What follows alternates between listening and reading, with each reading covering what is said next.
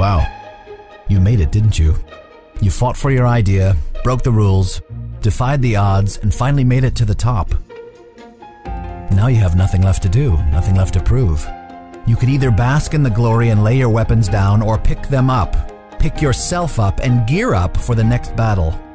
Feed that greed within you. Greed, the hunger for more, more challenges, more opportunities, more do's and dares. Feed that greed.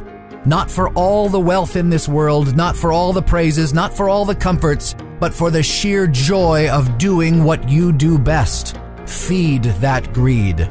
To make winning a habit, to turn tears of defeat into smiles of success.